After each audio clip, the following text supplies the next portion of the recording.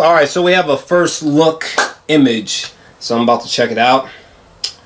And okay, I did not know that Jack Black was going to be in this, but oh god. Um uh, okay.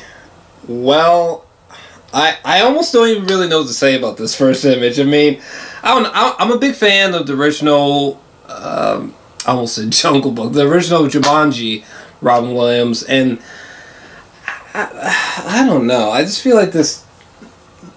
This is just like not really necessary, but. I don't know. I, I just feel like it's just gonna be one of those commercials where like you see Kevin Hart fucking just running through the jungle and he's like ah, ah help ah and then like you see the rock just like above in some trees and he's fucking like shooting with a sawed-off shotgun and like some giant mutated monkeys are like swinging by and they're like oop ba ba ba oop ba ba ba.